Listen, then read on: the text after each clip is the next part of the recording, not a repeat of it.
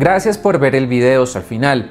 Si quieres estar actualizado, no olvides suscribirte al canal del tiempo en YouTube, activar la campanita para recibir las notificaciones y compartirlo con tus amigos y familiares.